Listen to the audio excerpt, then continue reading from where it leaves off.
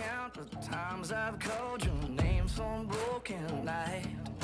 And you showed up and patched me up like you do every time.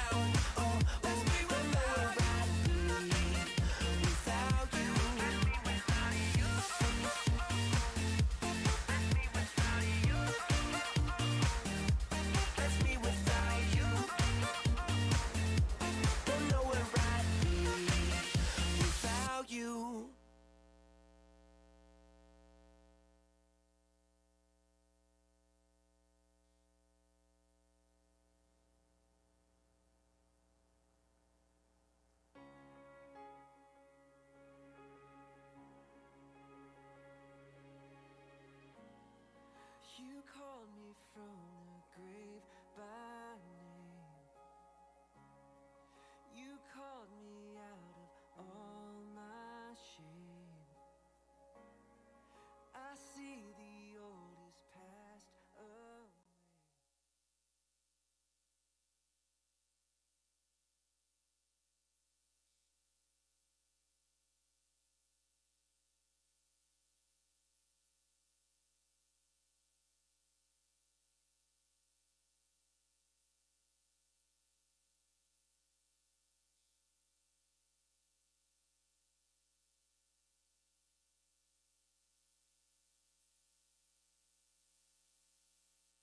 Got me here? Yes, you do. Woohoo!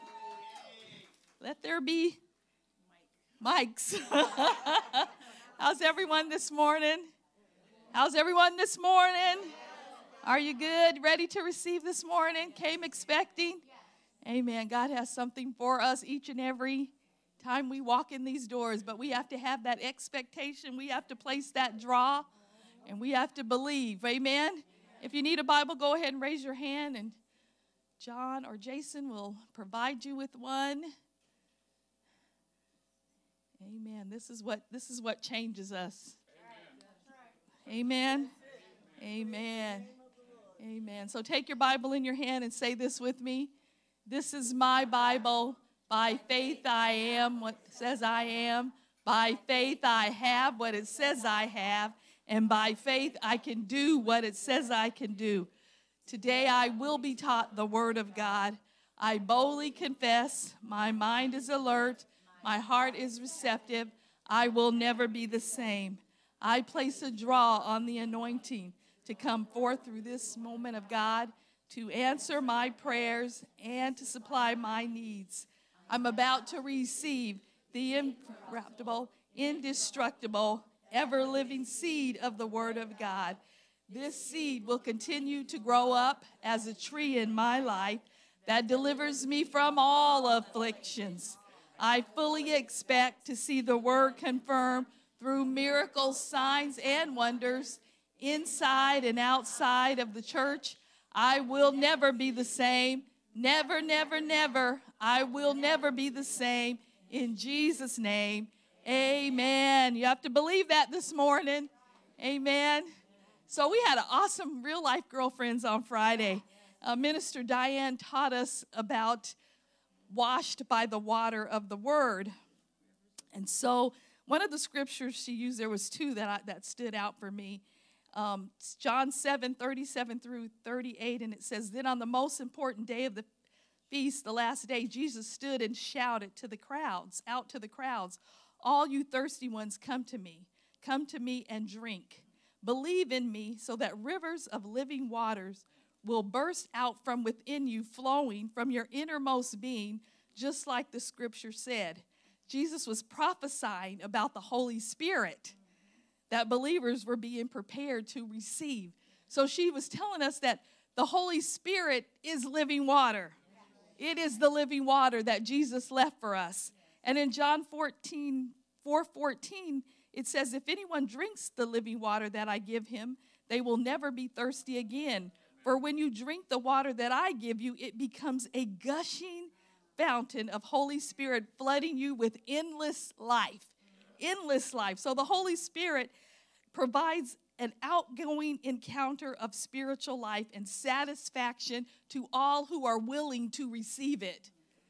If you want that in your life, it's available. Jesus left it for us. We need the Holy Spirit in this way so we can live our lives fully.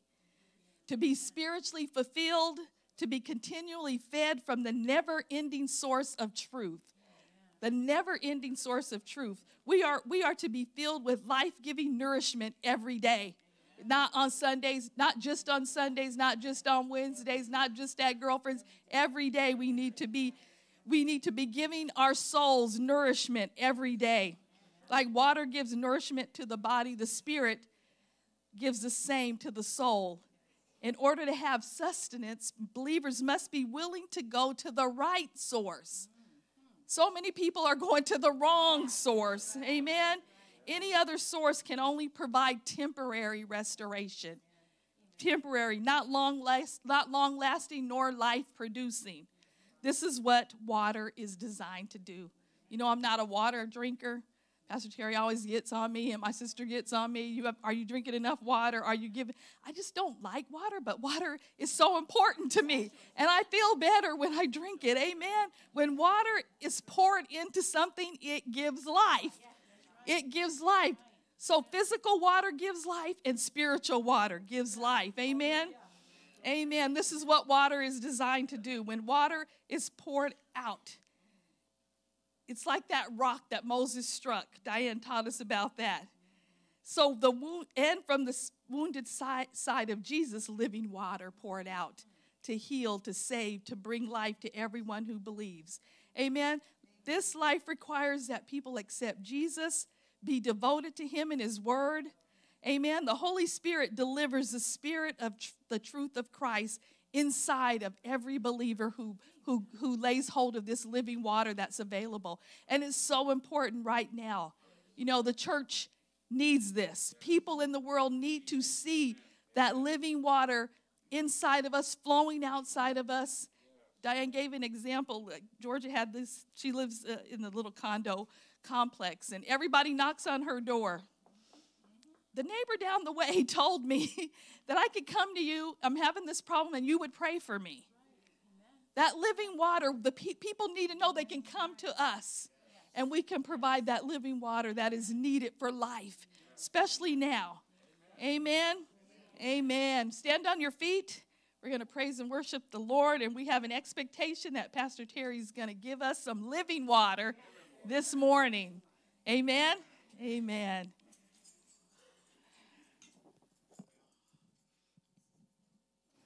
Where's the bell? Ring that bell.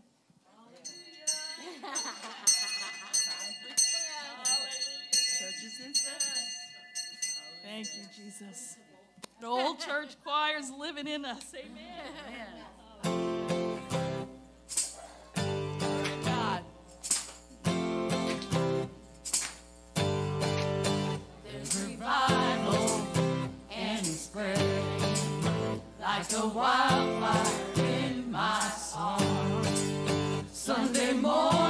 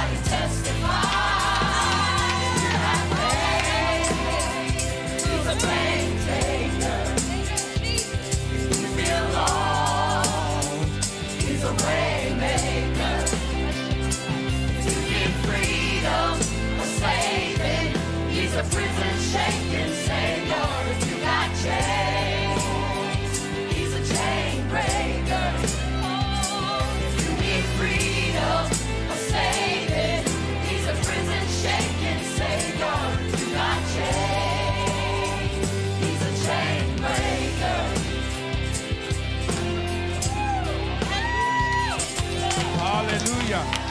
Hallelujah. praise He's a chain breaker. Thank you, Jesus. You're a prison shaking Savior. We thank you, Jesus. Hallelujah. Thank you, Lord. We praise you, Lord. Father, we just thank you. We praise you, Father, for the freedom that's in you, that there is liberty in you, that there is freedom in you, Lord. And we lay hold of that today, Lord. We thank you for who you are in our lives. And Father, we just lift up this service to you today, Lord. We thank you. Thank you that your presence is here. When we walked in, you walked in.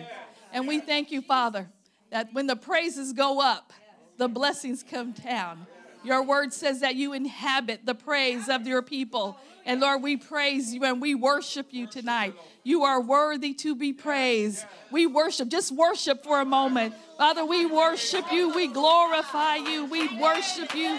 We thank you, Lord, for your goodness. We thank you for your grace, for your mercy. We thank you, Lord, for your goodness. Above all, we thank you for your love. We thank you, Jesus. Thank you, Jesus. Thank you, Jesus. Thank you, Jesus. Thank you, Jesus. Thank you, Jesus. Thank you, Jesus. Hallelujah. Thank you. You are good. You are awesome. You are worthy. Hallelujah. Thank you, Jesus. Thank you, Jesus. Thank you, Jesus. Thank you, Lord. Thank you, Lord. Thank you, Lord. We thank you, Lord. We thank you, Lord. We thank you, Lord. Hallelujah. You are worthy. Thank you, Lord. Thank you, Jesus. Thank you, Lord. We worship you, Lord. We thank you for who you are. Hallelujah. Thank you, Lord. Thank you, Lord. Thank you, Lord. Thank you, Lord. Thank you, Lord. Thank you, Jesus. Thank you, Jesus. Thank you, Jesus. Thank you, Lord. Thank you, Jesus. Thank you, Lord. Thank you, Lord. Thank you, Lord. We thank you, Lord. We thank you, Father. We thank you in Jesus' name, Lord. We thank you. We thank you, Lord. Thank you, Jesus. We bless your name, Lord. We thank you. Thank you, Jesus. Thank you, Jesus. Thank you, Jesus. Thank you, Jesus. Thank you, Jesus. Thank you, Jesus. Thank you, Jesus. Thank you, Jesus. Thank you, Jesus. Thank you, Jesus. Thank you, Jesus. Thank you, Jesus. Thank you, Lord. Thank you, Jesus. Thank you, Lord. We thank you for your power. That your power is present to heal right now, to set free and deliver right now. We thank you, Lord. You are good. Hallelujah. We thank you, Lord. Have your way in this service. In Jesus' name. Thank you, Lord. Isn't God good? He is worthy. Go ahead and greet one another and say good morning. And thank you, Lord, that you have something for me today. You have something for me today. Hallelujah. Thank you, Jesus. Thank you, Jesus. Children are released to their classroom this morning. Hallelujah. We thank you, Lord. We worship you. Thank you, Lord. Thank you, Lord. Thank you, Lord.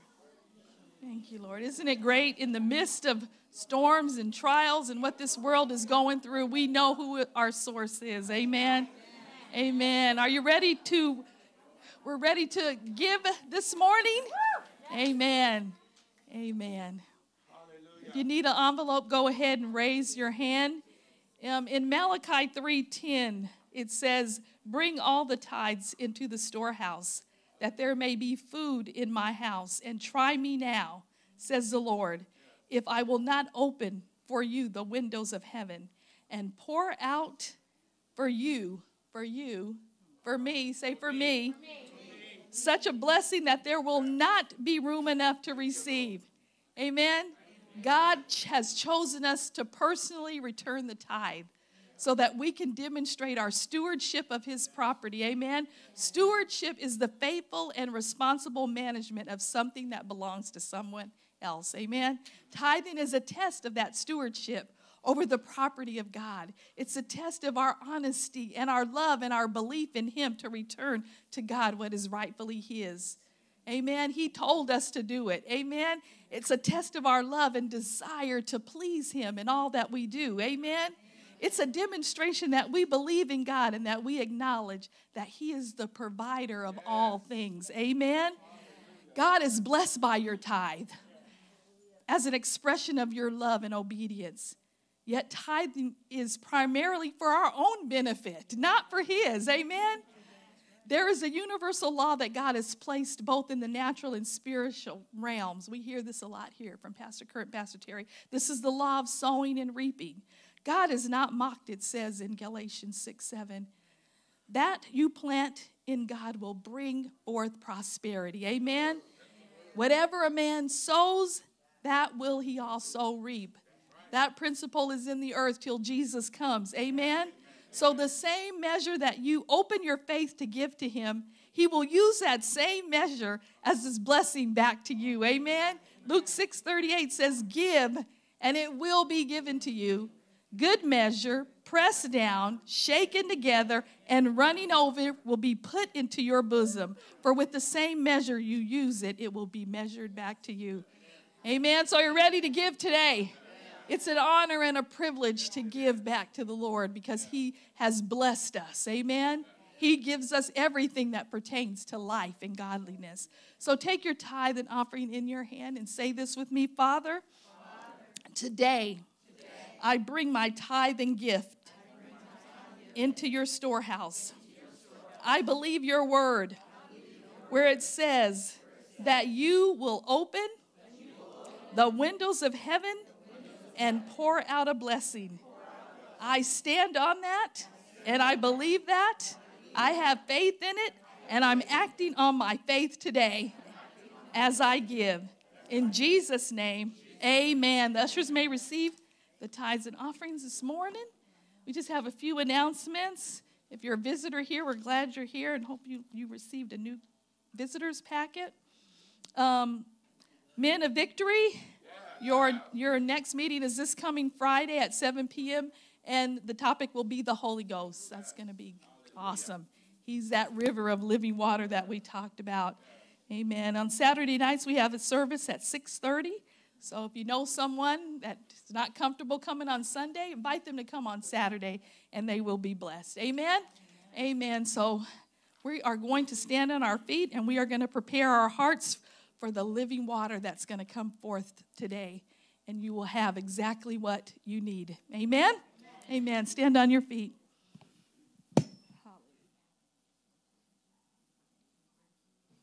Thank you, Jesus. King of my heart. Amen. He is good. Hallelujah. Thank you, Jesus. Hallelujah, Lord. Thank you, Father. We praise you. We praise you. Your goodness.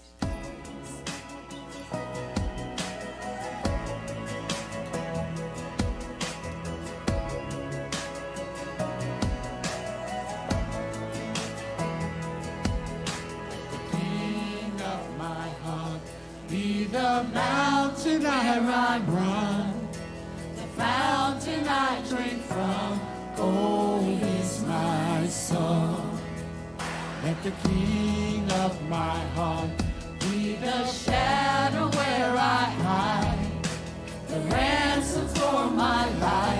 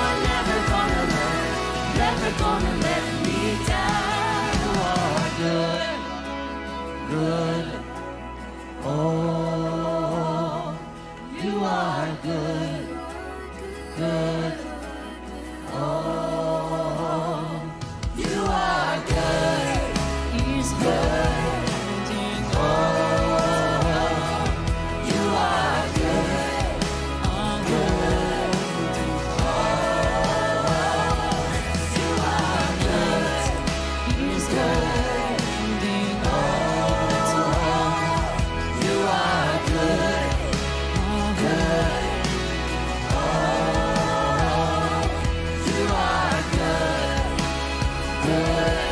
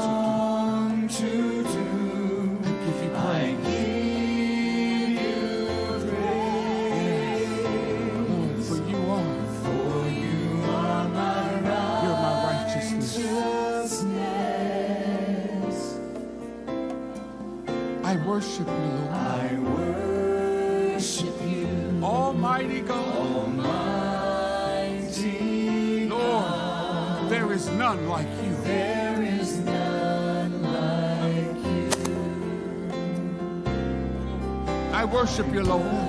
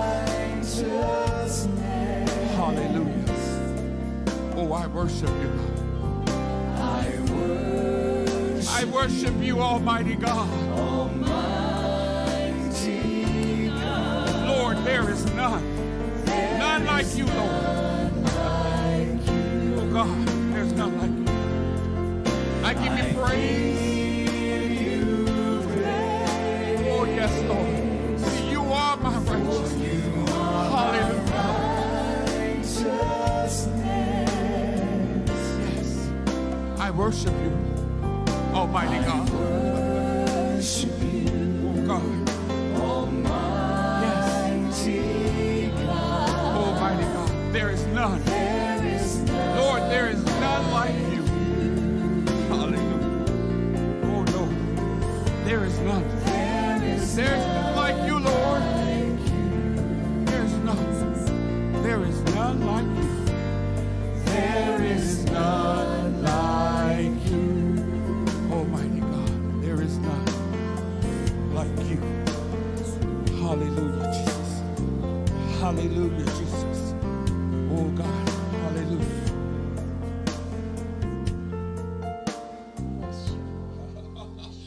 none like you. Lord, you are faithful. You are good. Yes. You are good. And Lord, we love you. We bless you. We magnify the name of Jesus. We worship you. There's none like you, Lord. Thank you, Lord. Hallelujah. Thank you, God. Thank you, God. Jesus. Hallelujah. Hallelujah. There is none like you. You are the lover of our soul. Yes, Lord. Yes, Lord. You know the number of hair on our head. Yes. You know us each by name.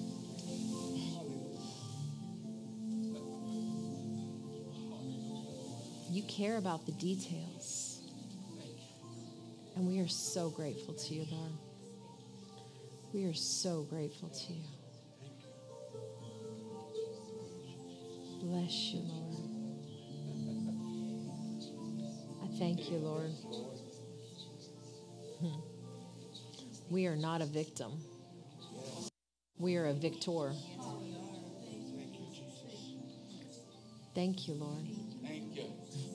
We glory in tribulation because we know the outcome.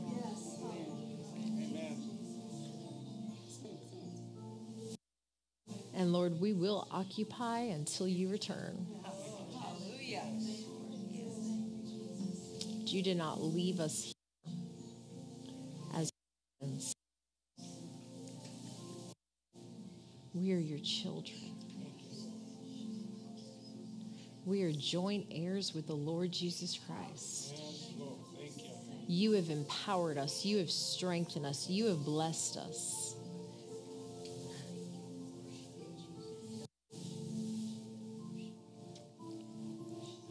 Lord, I love you. I thank you. I thank you. With a grateful heart, I thank you. Hallelujah. Hallelujah.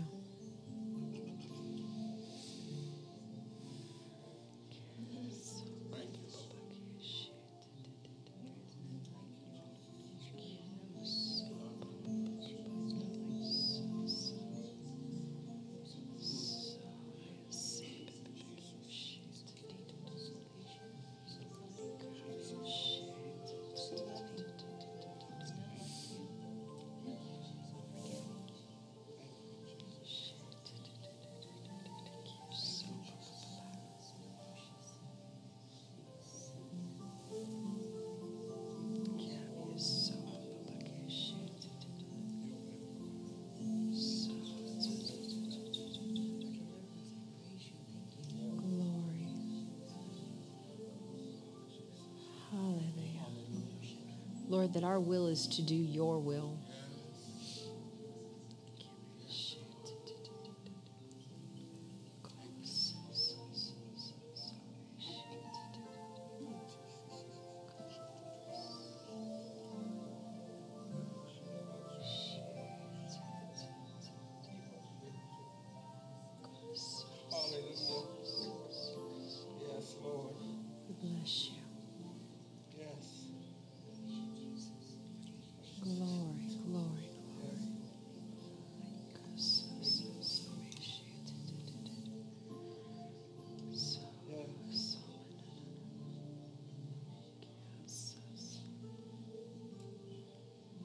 Thank you, Lord. Father, I thank you. I thank you, Lord.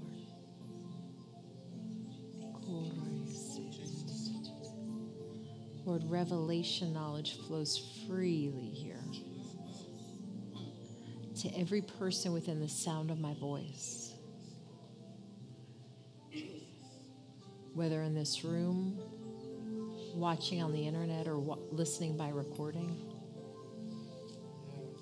every person has an expectation to receive what you have for them.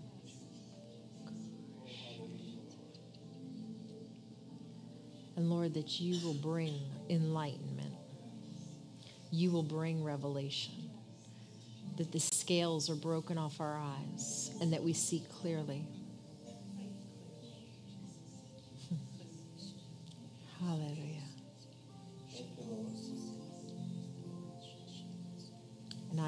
That no weapon formed against these shall prosper. And every tongue that rises in judgment against these, they shall condemn, for that is their inheritance. That we walk in our inheritance.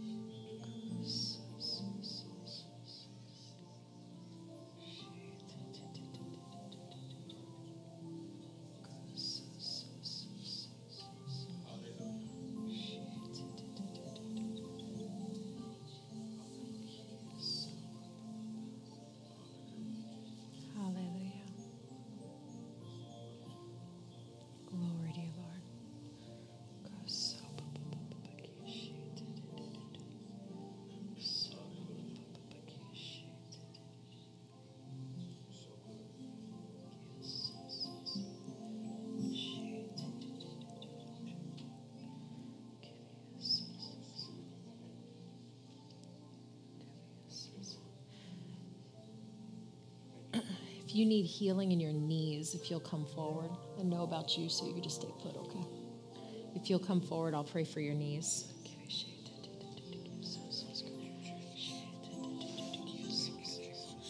In the name of Jesus, I command strength into these knees. I curse anything that's wrong, and I command everything to be made right.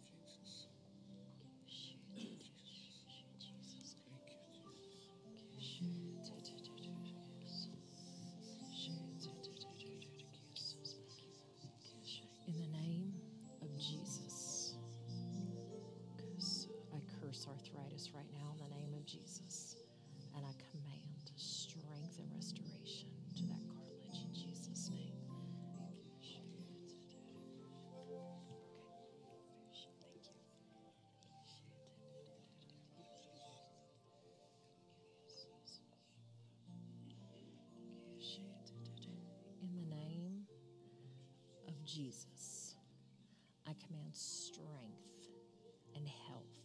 I curse pain at your root in the name of Jesus, and I release that these knees, knees are healed. Your youth is renewed like the eagles, and I command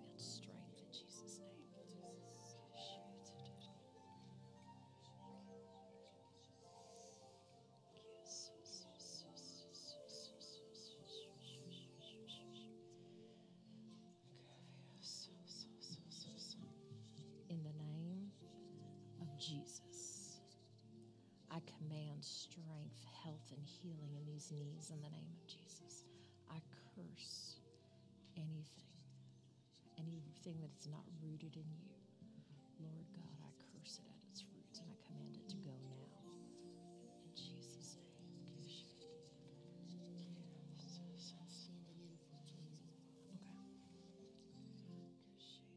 In the name of Jesus, I command total restoration.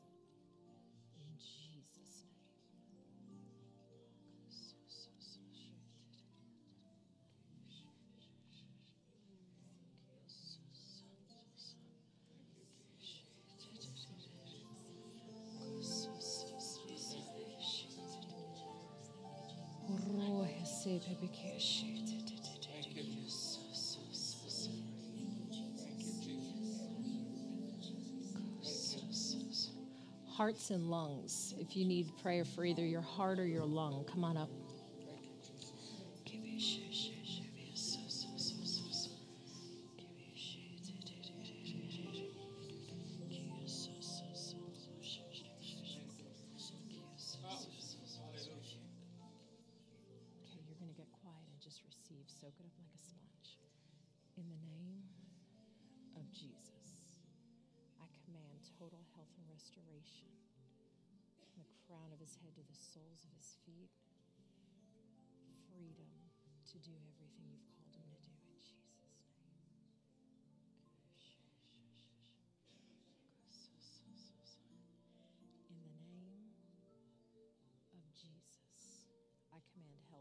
These lungs, new lungs, new lungs, completely recreated, restored, and made anew.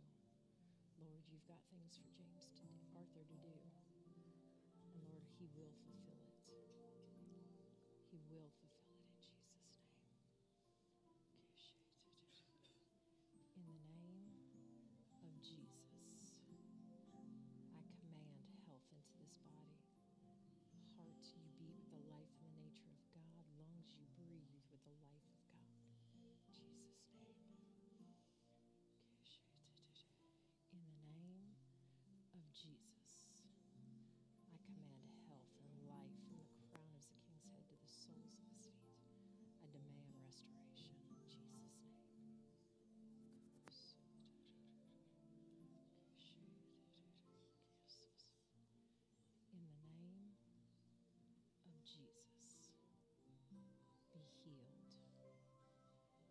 healed. Heart, you beat with the life and the nature of God. Lungs, you bring with, breathe with the breath of life. Health, healing, wholeness in Jesus' name. Okay, be quiet. In the name of Jesus. I command full and total restoration. I speak to these lungs. I command them to be healed. I speak to this heart, and you beat with the life and the nature of God. In Jesus' name.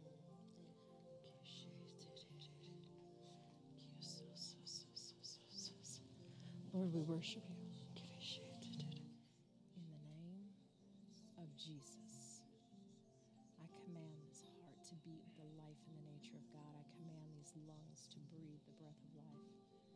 Full and total restoration in Jesus' name.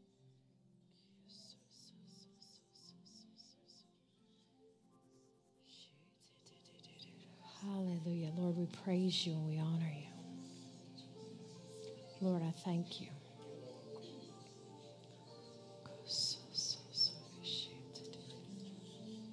In the name of Jesus, I command hearts to beat with the life and the nature of God.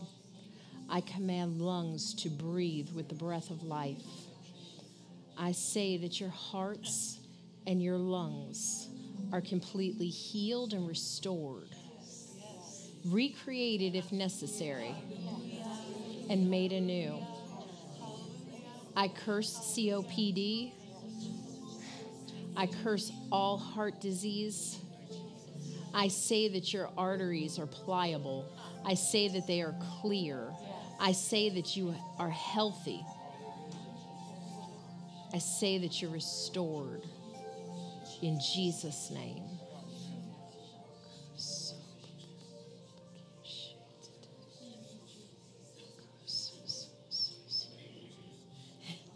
And if you're asking in your heart, well, doesn't God care about mine? Reach out and grab it. He does. He absolutely does. He said, It's yours, just take it. Just take it.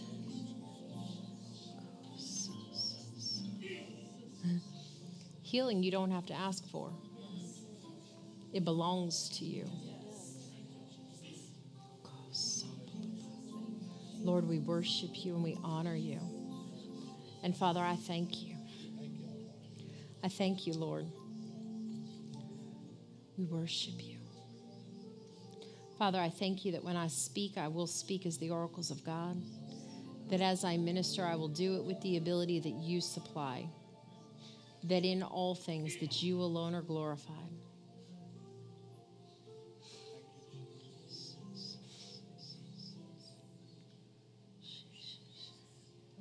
Some of you are questioning in your heart what about this? What about that? We're going to talk about it today, so don't go away. Don't tune out.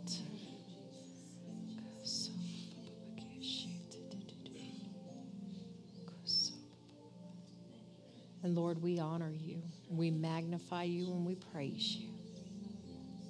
In Jesus' name, amen. Amen. Hallelujah. Well, good morning. Are you all ready to receive? God's ready for you to receive. Amen. We're going to have fun this morning, so you guys are ready to read a lot, right? You know, so last night, you know, I know it's not going to last forever, so I had Victoria and the little papoose ministering last night.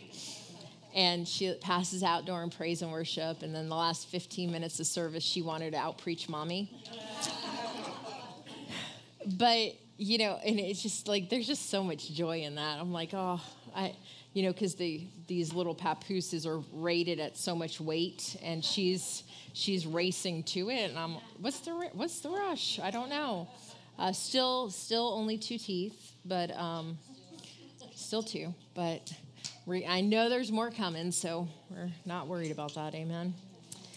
So, um, but you know the word's so rich and um, there's so many things that we need to cover and and this should not be the only time that we read our bible right?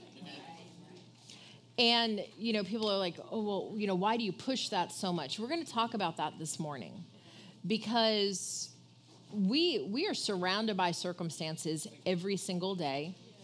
And let's just be honest we're surrounded by adverse circumstances every single day, right? And there's things, you know, as we, we talk about, there's there's looks you get or who who is saying that to me? Somebody was like, "Yeah, I could just tell from their look," and I was like, "Well, you got to rebuke the look." You know, I mean, you don't have to like look at somebody and say that's an ugly face that you're making. Don't tell them their face is ugly ever, but you don't have to tell them that they're making an ugly face, right? Um, they know they are.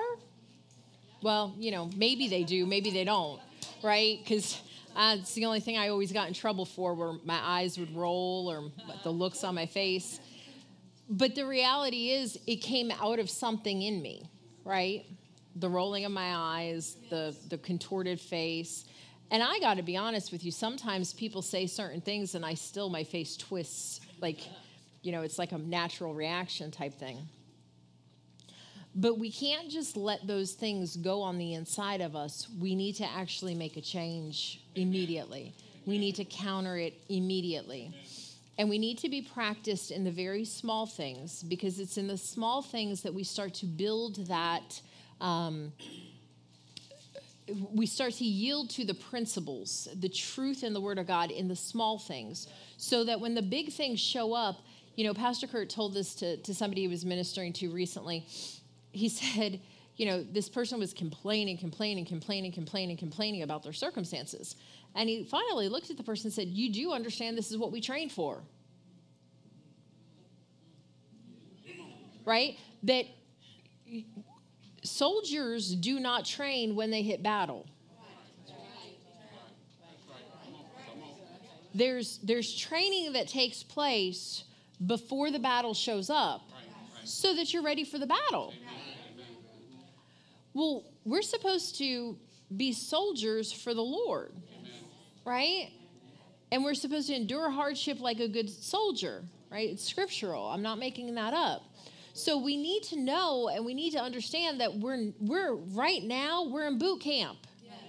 Right now we're in training. Right? We we we show up. Thank you Jesus. Y'all show up.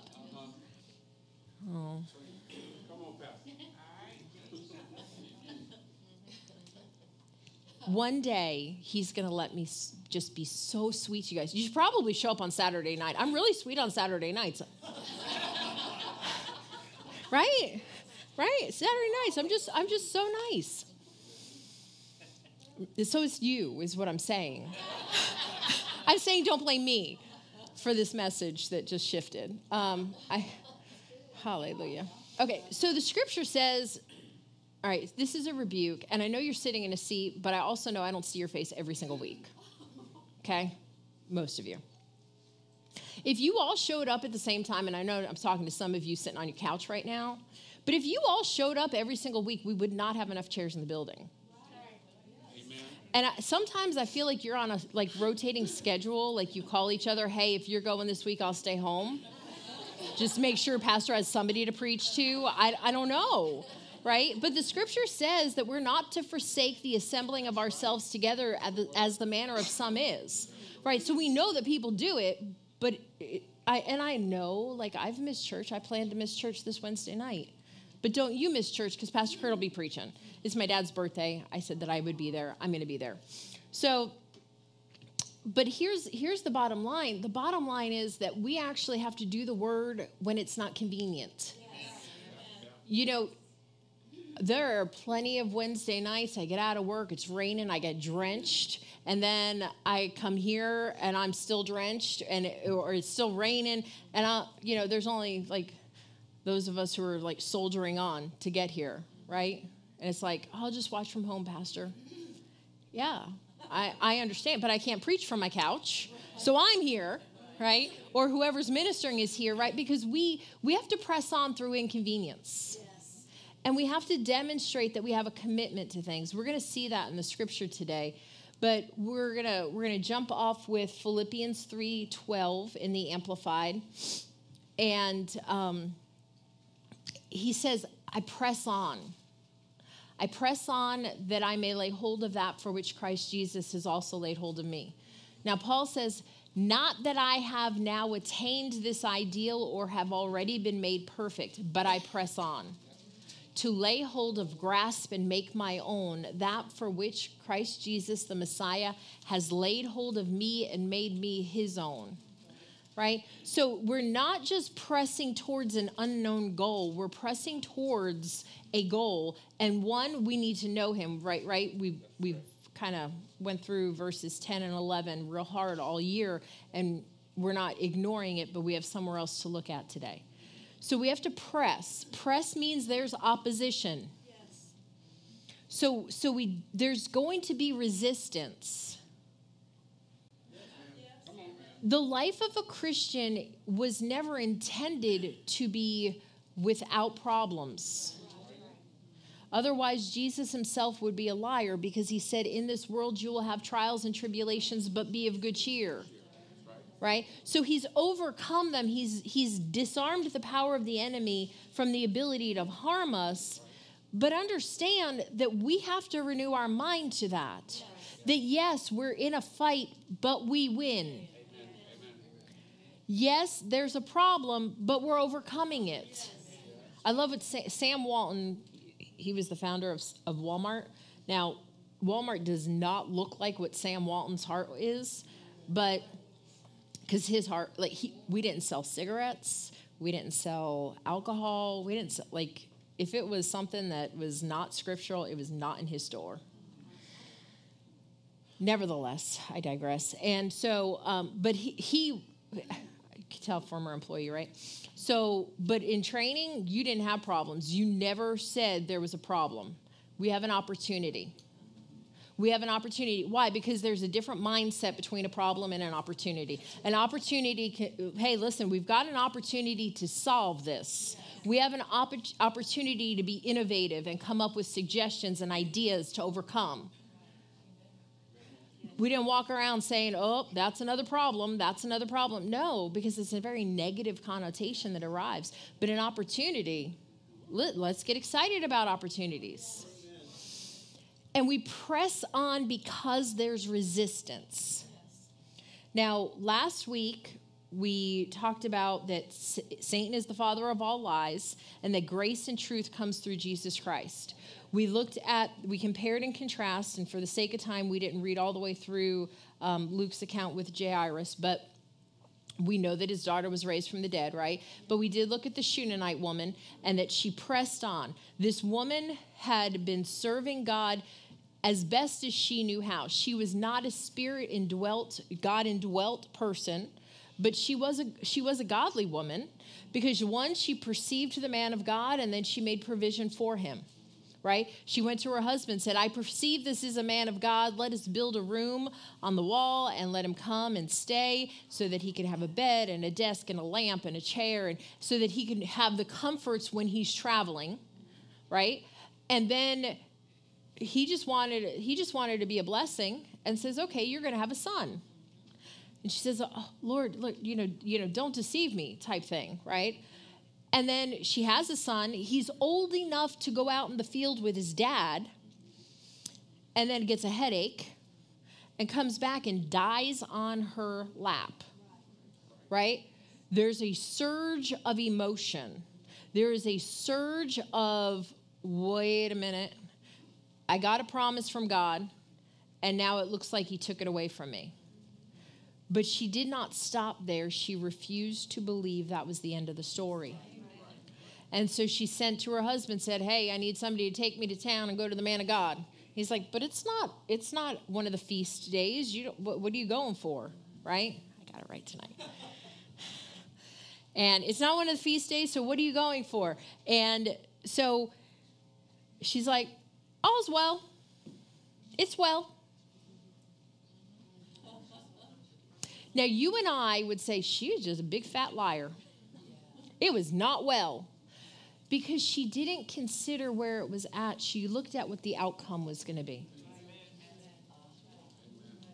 We look at the outcome through God's eyes and through the Word of God, and that changes our perspective because we can either consider the circumstances or we can consider the promise. Those are the options. There's only two. You consider the promise or you consider your circumstances. Now, which will you consider? Which do you give more weight to? Because both of them, now remember, your circumstance is screaming at you, and the promise is a still small voice. It's easier to consider the circumstance, it is easier to consider the problem. It just is, right? So she goes on and and Elisha sends Gehazi out to go greet her and say, "Hey, go check on her. This is unusual for her to show up right now." That if you're googling it to try and find it or going to biblegateway.com and putting in keywords, don't use mine. Okay? I'm just paraphrasing for you right now. So Gehazi goes out and asks her, uh, "No, all's well." So she presses on to Elijah and falls down at his feet.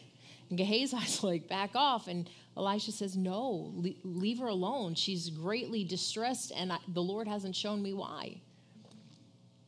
We know why, right? Because we read it. He didn't know why, because the Lord hadn't revealed it to him. And she's like, Did I ask you for a son?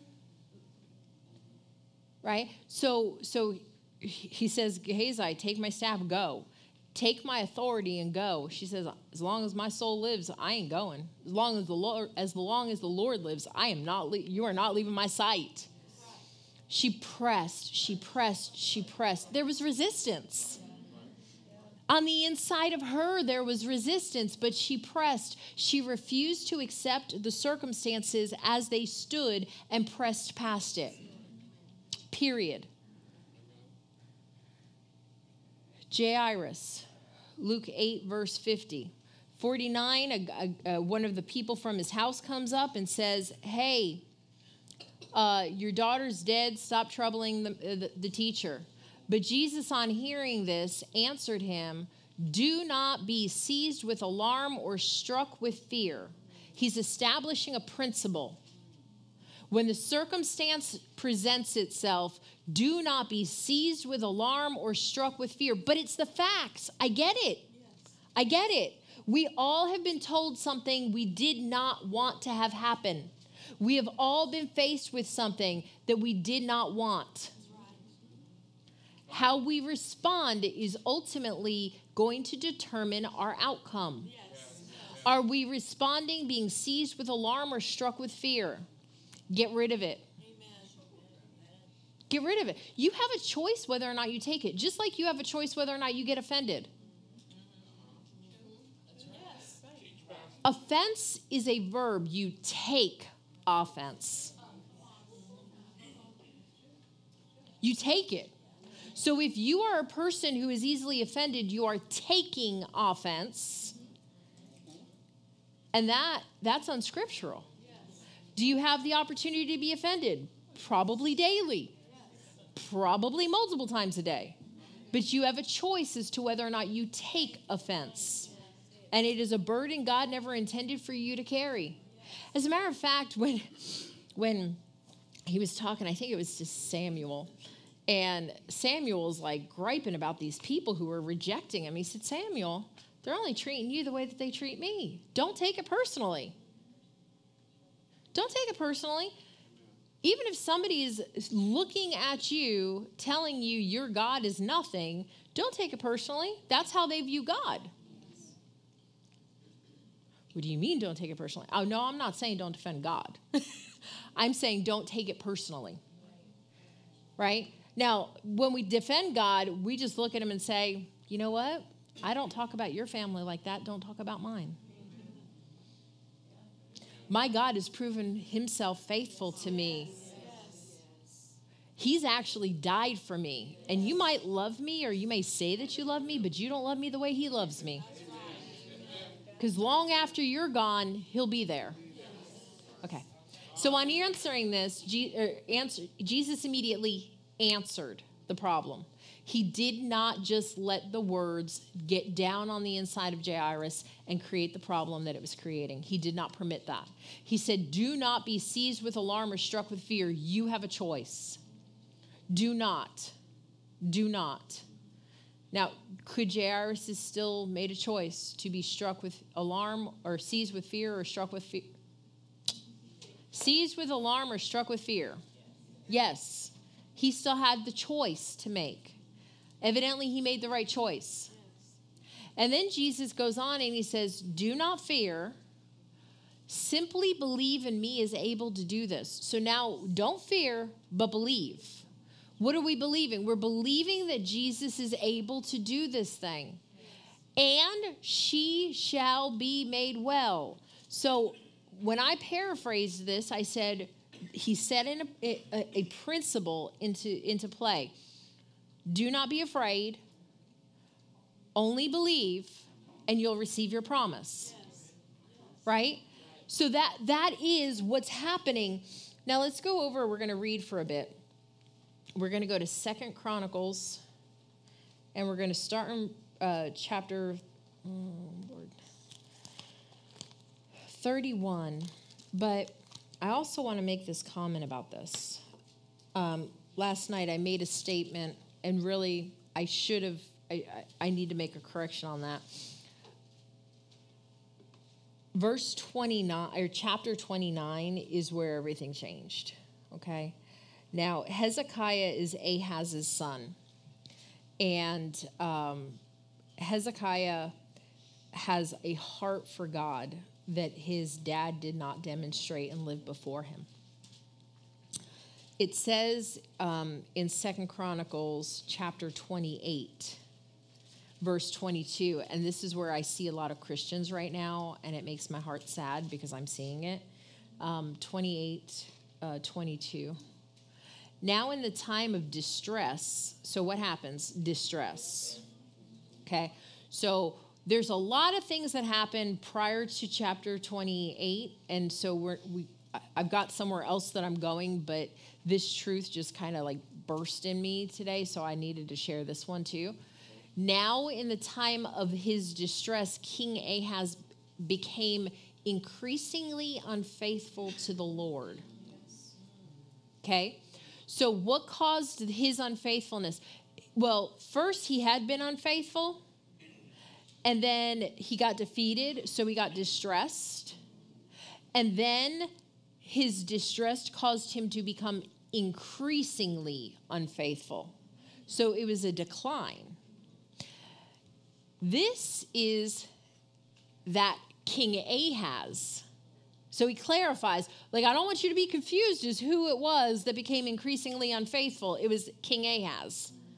For he sacrificed to the gods of Damascus, which had defeated him, saying, Because the gods of the kings of Syria help them, I will sacrifice to them that they may help me.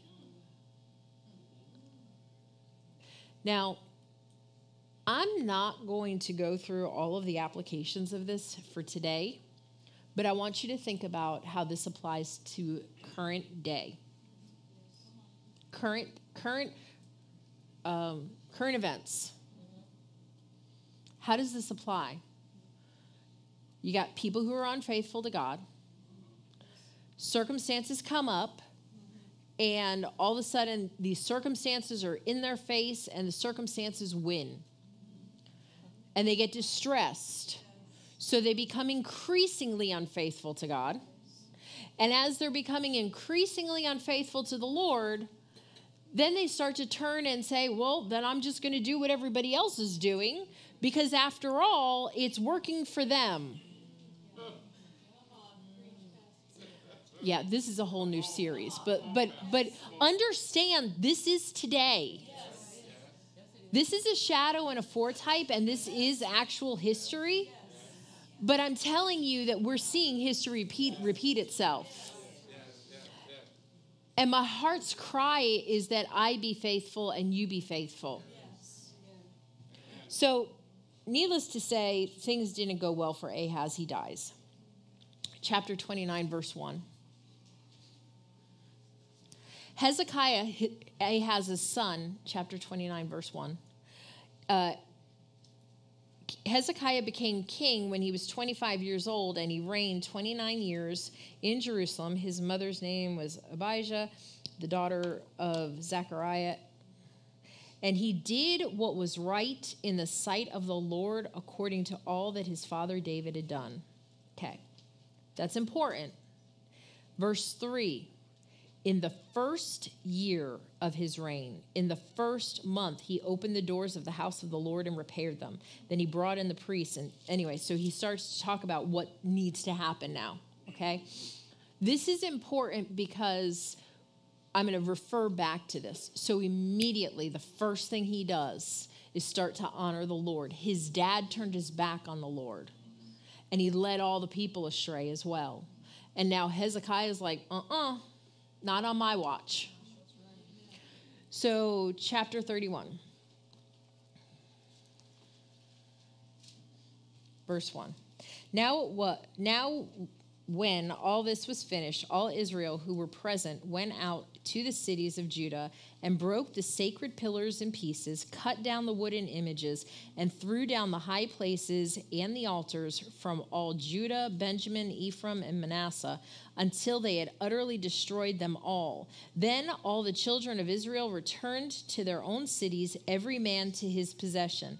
And Hezekiah appointed the divisions of the priests and the Levites according to their divisions, each man according to his service. The priests and the Levites for burnt offerings and peace offerings to serve and to give thanks and to praise in the gates of the camp of the Lord. The king also appointed a portion of his possessions for the burnt offerings, for the morning and the evening burnt offerings, the burnt offerings for the new, for the Sabbaths and the new moons and the set feasts, as it is written in the law of the Lord. Moreover, he commanded the people who dwelt in Jerusalem to contribute support to the priests and the Levites, that they might devote themselves to the law of the Lord. Now, there was a shortage of priests prior to this. Okay, they didn't have any supply, they didn't have anything. And, and especially under his dad, things just went really, really bad because he started serving a different God. As soon as the commandment was circulated, the children of Israel brought in abundance the first fruits of grain and the wine and oil and honey and of all the produce of the field. And they brought in abundantly the tithe of everything. And the children of Israel and Judah who dwelt in the cities of Judah brought the tithe of oxen and sheep, also the tithe of holy things which were consecrated to the Lord their God. They laid in heaps. In the third month, they began laying, in, laying them in heaps, and they finished in the seventh month. And when Hezekiah and the leaders came and saw the heaps, they blessed the Lord and his people Israel. Then Hezekiah questioned the priests and the Levites concerning the heaps. And Azariah, the chief priest from the house of Zadok, answered him and said, Since the people began to bring offerings into the house of the Lord, we have had enough to eat and have plenty left. For the Lord has blessed his people, and what is left is great abundance. Now Hezekiah commanded them to prepare rooms in the house of the Lord, and they prepared them. And then they faithfully brought in the offerings, the tithes, and the, and the dedicated things. this Levite had charge of them, and his brother was next. And then all these people were overseers under the hand of Corona, the Coronia, the Shemai and his brother, and the commandment, don't judge me, of Hezekiah, the king of Assyria. Uh, Azariah, the ruler of the house of God. Cor, I don't know why they have to put so many names in, but I'm sure these people are like hanging out in heaven going, Yeah, my name's in the Bible. and I'm like, Yeah, I can't pronounce it. Uh, Cor, Cor, the son of in, uh, Imnah, the Levite, and the keeper of the east gate, was over the freewill offerings to God and to distribute the offerings of the Lord and the most holy things. And under him were Eden, these people his faithful assistance in the cities of, of the priests to distribute allotments to their brethren by divisions, to the great as well as to the small. Besides those males from three years old and up who were written in the genealogy, they were they were distributed to everyone who entered the house of the Lord his daily portion for the work of his service by his division, and to the priests who were written in the genealogy according to their father's house, and to the Levites from 20 years old and up according to their work by their divisions, and to all who were written in the genealogy, their little ones, their wives, their sons and daughters, and the whole company of them, for in their faithfulness they sanctified themselves in holiness. Also, for the sons of Aaron the priests who were in the fields of the common lands of their cities. In every single city, there were men who were designated by name to distribute portions to all the males among the priests and to all who were listed by genealogies among the Levites. Thus, Hezekiah did throughout all Judah and did what was good and right and true before the Lord his God. And in every work that he began in the service of the house of God, in the law and in the commandment to seek his God. He did it with all his heart, so he prospered. Okay. I know that was really wordy, but here's here's the bottom line on this. There was a shortage of priests, and then Hezekiah leads the people to turn toward God. Put their heart focus on God and say, "You know what? What was done was wrong." And let me tell you, that takes boldness. That takes courage to say what was done was wrong and we're going to make it right. And it needs everybody to work together to do this. So he leads the people. And it, he says he's been faithful to God. He's been faithful to God. He's been faithful to God. He's done everything right in the sight of the Lord. And then chapter 32 happens. After these deeds of faithfulness, Sennacherib, the king of Assyria, came and entered Judah. He encamped against the fortified cities, thinking to win them over to himself.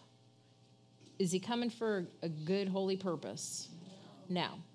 And when Hezekiah saw Sennacherib had come and that his purpose was to make war against Jerusalem, he consulted with his leaders and commanders to stop the water from the springs which were outside the city, and they helped him. Thus many people gathered together who stopped all the springs and the brook that ran through the land, saying, Why should the kings of Assyria come and find much water? And he strengthened himself, built up all the wall that was broken, raised it up to the towers, and built another wall outside. He also repaired the, the Millo in the city of David and made weapons and shields in abundance. Then he set military captains over the people, gathered them together to him in the open square of the city gate, and gave them encouragement, saying, Be strong and courageous. Do not be afraid nor dismayed before the king of Assyria, nor before the, all the multitude that is with him. For there are more with us than with him. Okay, pause here for a second.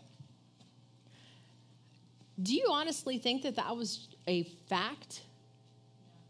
No. It was not a fact. There were more with the king of Assyria than there were there in number. But understand that when you're looking at your circumstance, if you are looking at in a natural realm, in, in a physical realm, it's going to look hopeless. We're not created to look at anything from a natural realm. We are seated in Christ Jesus in heavenly places. It looks different from up there. And this is what the typical Christian does. Lord, I've been so faithful to you. How could this happen?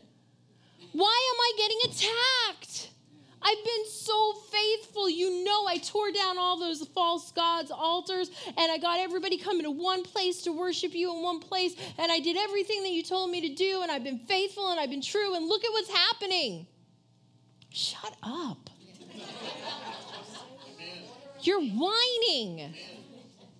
Go read Philippians 2:14. Do all things without complaining and disputing, that you may be found to blameless, harmless child of God in the midst of crooked and perverse generation among whom you shine as lights in the world, holding fast to the word of life.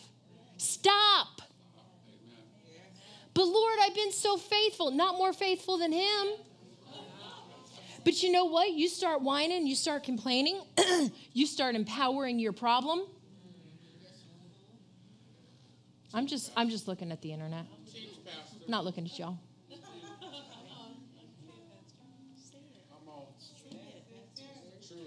So all of a sudden, this guy who's done everything right, following God with all of his heart, gets attacked. Hoorah. It's for this moment we were created. It is for this moment we have been training. It is for this moment we've been worshiping God. It is for this moment we have been encouraging ourselves in the Lord. It's for now. It is for such a time as this. Yeah, but I know somebody who believed that way and it didn't work. I, not my problem. I've had situations that didn't turn out right, but it wasn't God. It's never God.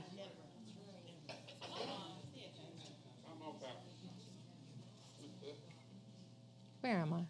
Verse 8. With him, this is Hezekiah still speaking, with the king of Assyria is an arm of flesh, but with us is the Lord our God to help us and to fight our battles. Hoorah! The people were strengthened by the by the um, the, by the words of Hezekiah, the king of Judah. After this, Sennacherib, king of Assyria, sent his servants to Jerusalem. Okay, so did the attack stop? No. No, everything's supposed to get better now.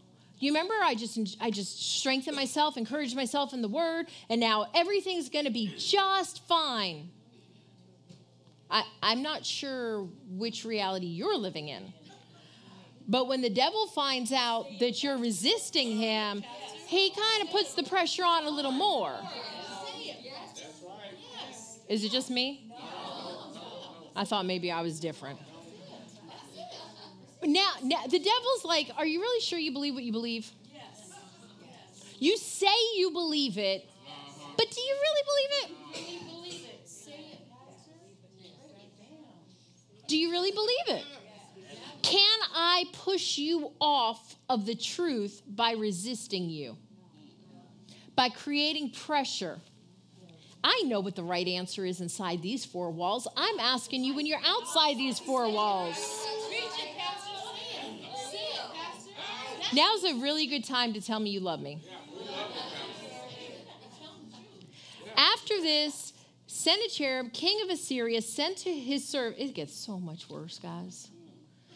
Sent, sent his servants to Jerusalem, but he and all the forces with him laid siege against Lachish, whatever, to Hezekiah the king of Judah and to all Judah who were in Jerusalem, saying, Thus says the king of, uh, says Sher, Senach, slow down.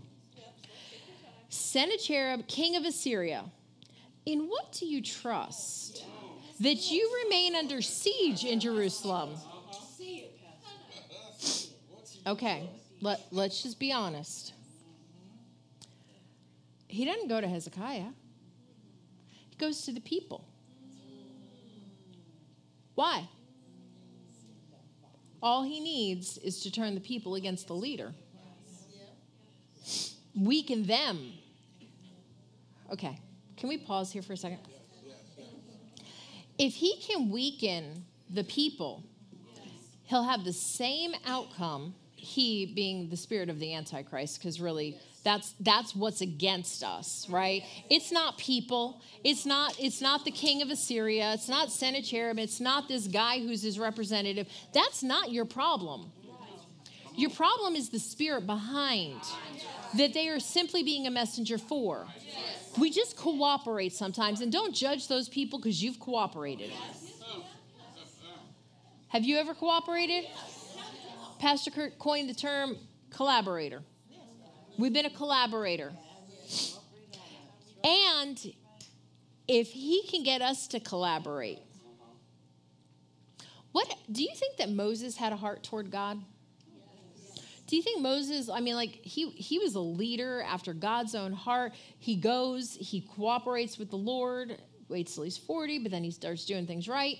Goes in and he's he's doing what the Lord has for him to do, right? He gets the people out of Egypt, which was a hoot, because these people were already complaining when we're standing at the edge of the Red Sea, right? They get out of, of Egypt, and then all of a sudden, what, what do they want to do? They, well, they do want to go back, but they also want to complain about everything, right? Oh, woe was me. Oh, it was better in Egypt. At least we had food in Egypt. At least we had water in Egypt. At least we had this in Egypt. At least we had that in Egypt. You were a slave. You were a slave.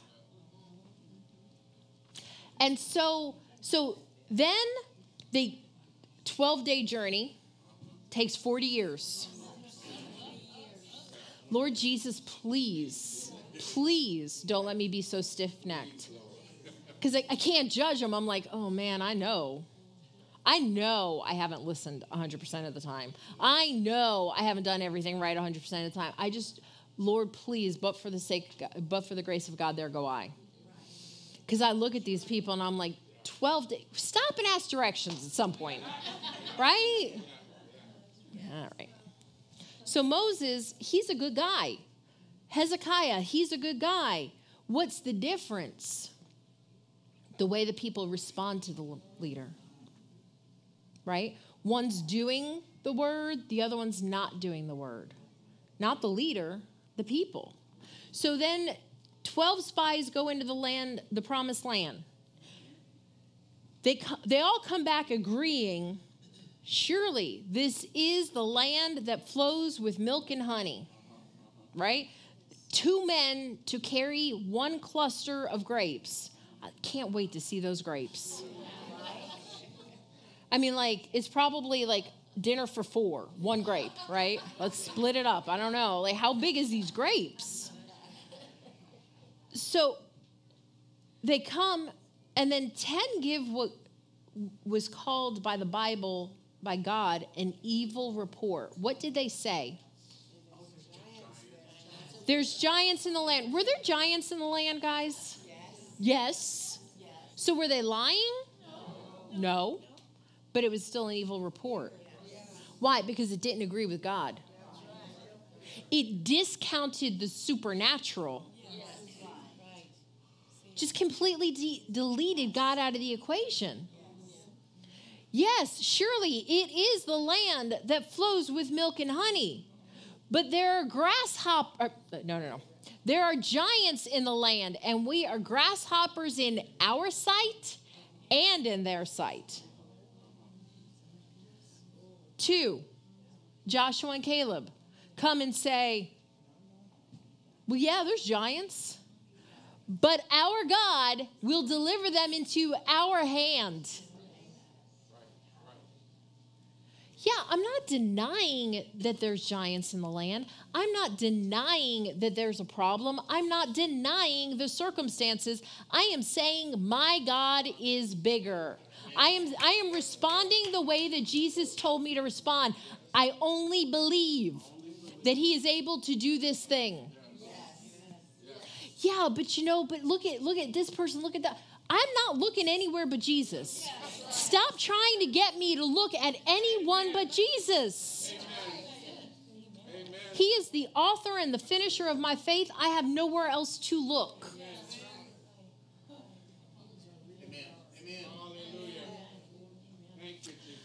Verse 11 Does not Hezekiah persuade you to give yourselves over to die by famine and by thirst? Saying, you know, I know your pastor just keeps on trying to get you to believe this stuff, but what is wrong with you? You know, you're just going to die like this? Where are you go to church is a matter of life and death. But anyway, just let me mind my own business here. The Lord saying, the Lord our God will deliver us from the hand of the king of Assyria. Has not the same Hezekiah taken away his high places and his altars and commanded Judah and Jerusalem, saying, You shall worship before one altar and burn incense on it? Do you not know what my, I and my fathers have done to all the people of the other lands, where the gods of the nations of those lands were the gods of the nations of those lands in any way able to deliver their lands out of my hand? Who was there among all the gods of those nations that my fathers utterly destroyed that could deliver his people from my hand, that your God should be able to deliver you from my hand? Now, therefore, do not let Hezekiah deceive you or persuade you like this. And do not believe him, for no God of any nation or kingdom was able to deliver his people from my hand or the hand of my fathers, how much less will your God deliver you from my hand? Furthermore, his servant spoke against the Lord God and against his servant Hezekiah. Okay. He shows up and he starts saying, I know you I know you're being told to believe this. I know you think, you know, oh, it sounds good, you should believe God, but here's the reality. Nobody's no God's got the goods. When I show up, everything, you know, it's going to go it's going to go bad for you. It's not going to go well for you. So just, you know, we can make this transition a lot smoother if you just just come over onto our side. That's just the devil. That is exactly what he does. He says, Listen, your circumstances are so much bigger than your God. Your circumstances are so much bigger than your God.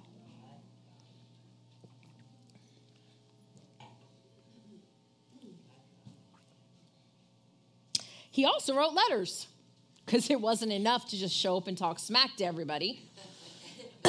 now we got to write letters. Now we're uh, letter writing campaign occurs, and they even speak to them in their native language. So he wrote letters to revile the Lord God of Israel and speak against him, saying, As the gods of the nations of other lands have not delivered their people from my hand, so the God of Hezekiah will not deliver his people from my hand. Then they called out with one loud voice in Hebrew to the people of Jerusalem who were on the wall to frighten them and to trouble them that they might take the city. And they spoke against the God of Jerusalem as against the gods of the people of the earth, the work of men's hands. Here's the thing you're facing something. How are you responding? And listen, unfortunately, this is the sad part. Here, the king of Assyria's guys show up and start talking this junk. Unfortunately, since then, the devil's kind of learned let's send somebody the person cares about. Unfortunately, the messenger that comes with an evil report is usually somebody you love and care about. He doesn't just send some intimidator all the time. It can be, but it's usually not. Why? Because we'll we'll go. You ain't bu- bossing me around. but then you get, well, I just love you. I just care about you. I'm just worried about you. If you love me, don't worry about me. Scripture says, Cast all your care upon the Lord, for he cares for you affectionately, he cares about you watchfully. He says, Do not worry. I mean, like it's it's three words. Do not worry. Three. Do not, right? So so yeah, but what if it what if what? Okay, can we just talk about death for a second? I know, it's a happy subject. Because it, it really is you understand, Paul said, for me to die is gain. Right? If I live, I'm doing this for you. If I leave, I'm doing that for me.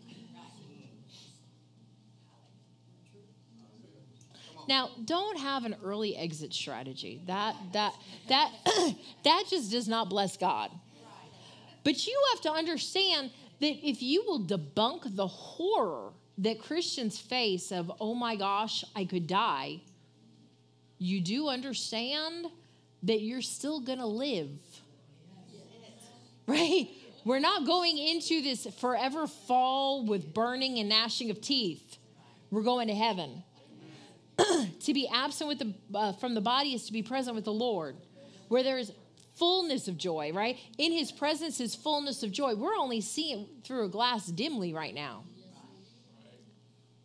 we when we get there, you ain't wanting to come back. I promise you, there's nobody who's been to heaven saying, Oh, I couldn't wait to get back. People who went to hell on the other side come back going, Oh no, oh no, Jesus, Jesus, Jesus, Jesus, Jesus, Jesus, Jesus, save me. So, what, what, what's your reaction? What, what are you looking at your circumstances and thinking, okay, what's worst case scenario? Our worst case scenario is the best case scenario. Yeah, but what about the loved ones left behind? The Holy Spirit's well able to comfort us. now, verse 20. Now, because of this, King Hezekiah and the prophet, because of what? Because of all of the circumstances screaming at them, because of all of the media. No, letters are media. It's a form of media, right? It was like the newspaper showed up. Everything's screaming at you. You've got to do it this way. You just don't understand. You know, God's just going to let you just out dry out out there. You're just going to die. So Hezekiah doesn't just stay quiet. Now, because of this, Hezekiah and the prophet Isaiah, the son of Amoz, prayed and cried out to heaven. They didn't sit there and cry out and say, God, why are you letting this happen? They clearly cried out in faith because immediately the Lord sent an angel who cut down every mighty man of valor, leader and captain in the camp of the king of Assyria. Okay, who fought this battle? Yeah, the Lord sent the angel. So the Lord is it's the Lord's battle. Why are you sitting there meddling?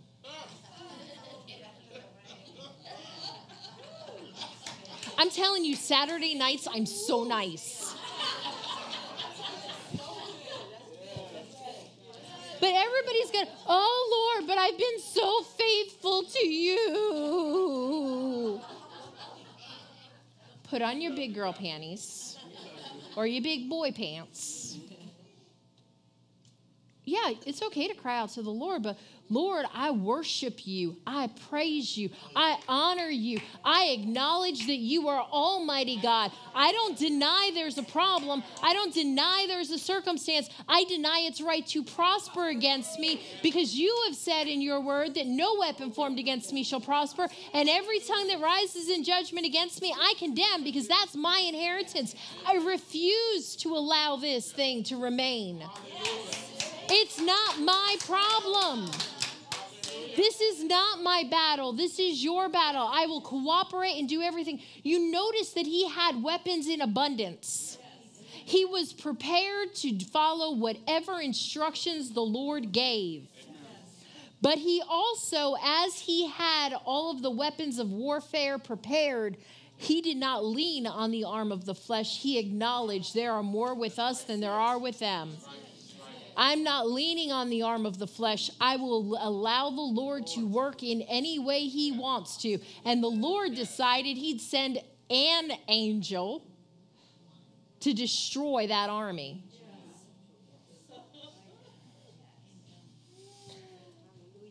So, let me say his name. Sennacherib returned shamefaced to his own land. And when he had gone into the temple of his God, some of his own offspring, his kids, struck him down with the sword there. Thus the Lord saved Hezekiah and the inhabitants of Jerusalem from the hand of Sennacherib, uh, king of Assyria, and from the hand of all the others, and guided them on every side. And many brought gifts to the Lord at Jerusalem and presents to Hezekiah, the king of Judah, so that he was exalted in the sight of all the nations after him. Now, Hezekiah gets a little puffed up after this, but we're not going to focus on that. We're going to look at this. This battle was won, chapter 29, verse 1 through 3. He, he immediately comes in and does the will of God. He immediately comes in and sets things right that had been wrong. He immediately says, "No, we're going to worship God." And then and then 29, 30, 31, all he's doing is putting things right, setting his focus, setting his attention on the Lord. He did not wait until the crisis showed up to then start trying to have a relationship with God. He had already won this battle in his heart long before the king of Assyria showed up to taunt him. We have to understand that we cannot wait until the problem shows up to start serving the Lord. Don't wait for the crisis to say, now I'm going to do, you know, you know, I'll just, I'll worship the Lord after this all. No, let's worship the Lord now. Let's spend time with the Lord now. Let's do the things that fortify us. Let's sow the word in our heart now. Because the, the difference between, and, and understand, let's go over to that Luke scripture from last night, wherever I took you last night, Cass. I think it's six, but me and Luke were having a really weird relationship last night. Uh, 646.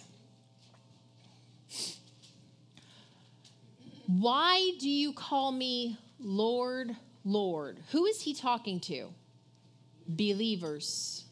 How do we know that he's talking to believers? Because they're calling him Lord. Why do you call me Lord, Lord, and not do those things which I say? Whoever comes to me and hears my saying and does them. Whoever comes, shows up to church, hears the word, leaves and does the message, I will show you who he is like. He's like a man building a house who dug deep and laid the foundation on the rock. And when the when the flood arose, the stream beat vehemently against that house, and it could not shake it, for it was founded on the rock. But he who heard and did nothing is like a man who built a house on the earth without a foundation against which the stream beat vehemently, and immediately it fell, and the ruin of that house was great. What's the difference? Both people show up to church, they're both faithful attenders, don't miss a service.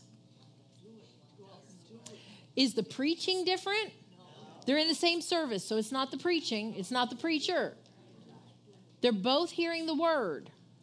One's doing it, one's not doing it. According to James, the person not doing it deceives themselves. That's how Hezekiah's dad got himself in trouble. He deceived himself into thinking that God wasn't faithful, so he became increasingly unfaithful to God when the reality was he wasn't faithful to God to begin with.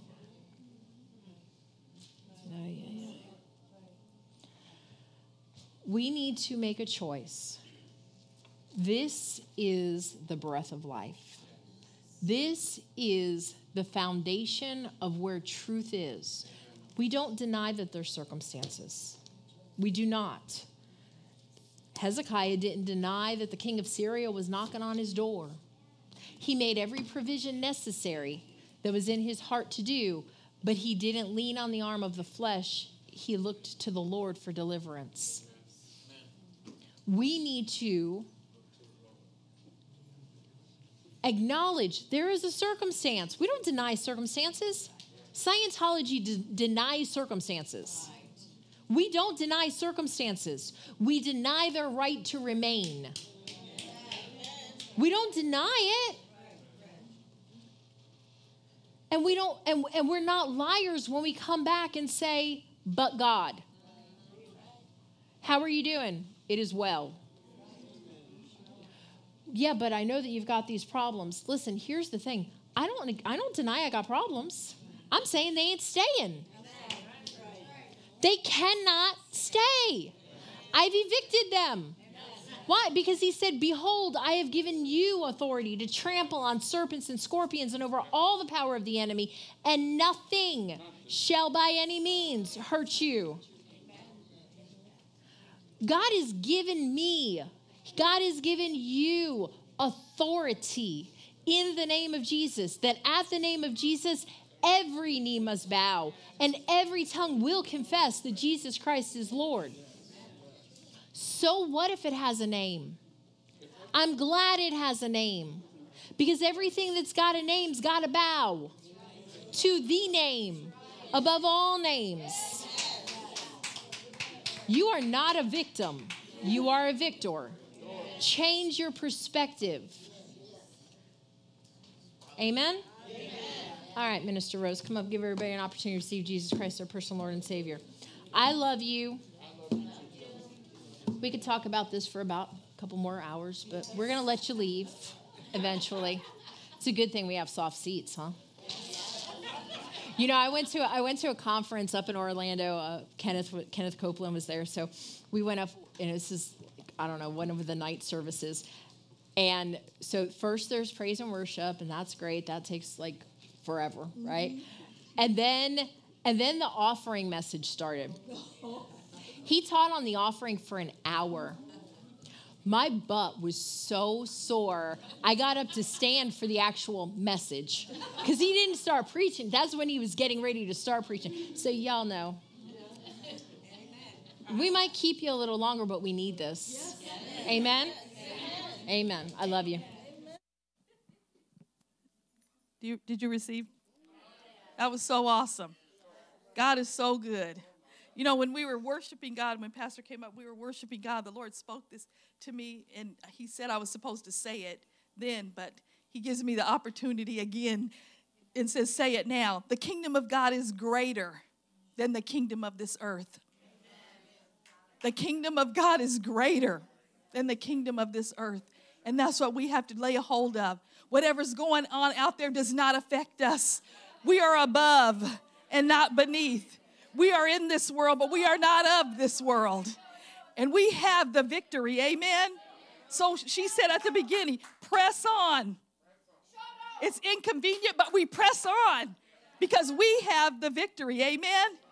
There is resistance, there is opposition, but we can't let it affect us. That's why I don't watch the news.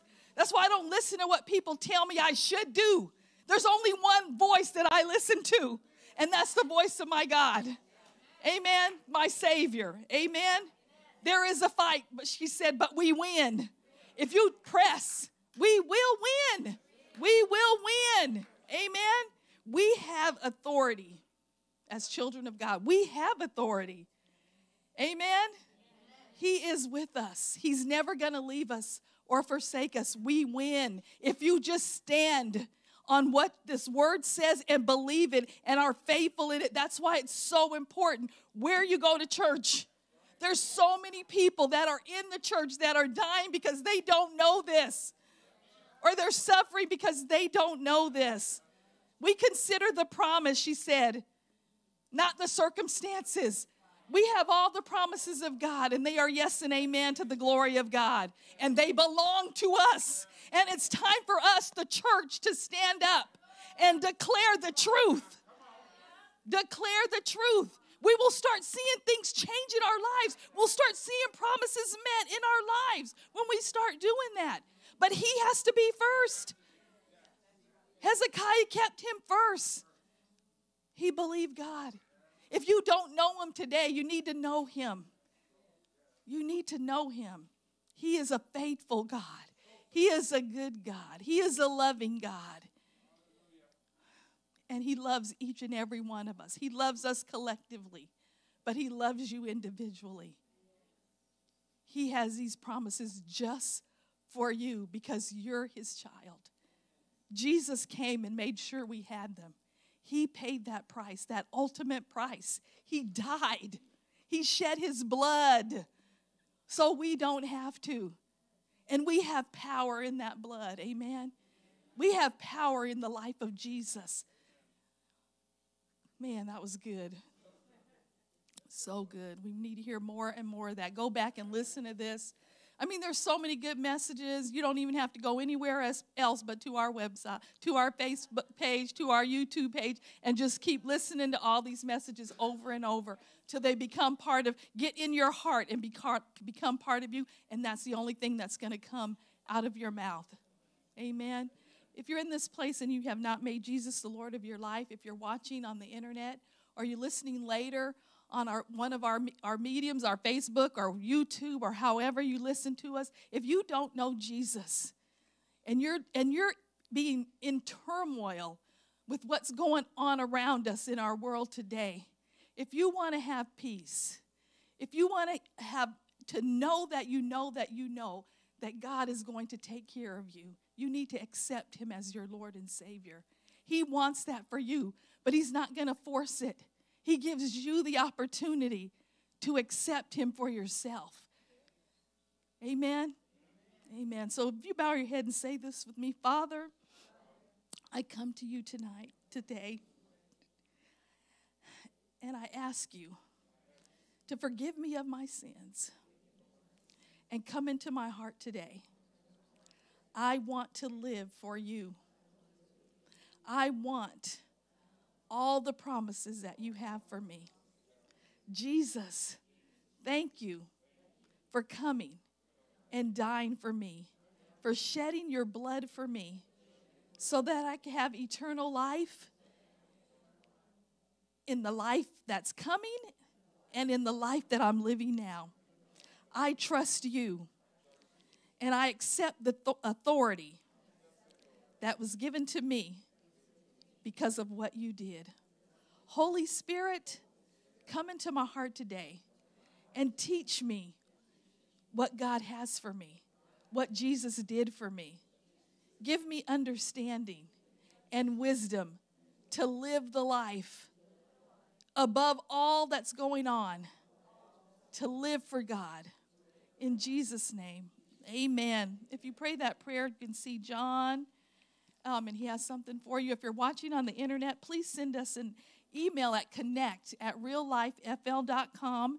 We want to know that you accepted Jesus and we want to help you begin this walk. Amen. She said, In this life we will have trials and tribulations, but be of good cheer that He has overcome them, overcome the power that they have to harm us. Amen. We are overcomers. Amen. Amen. We thank you, Father, for the word today, Lord. We thank you, Father.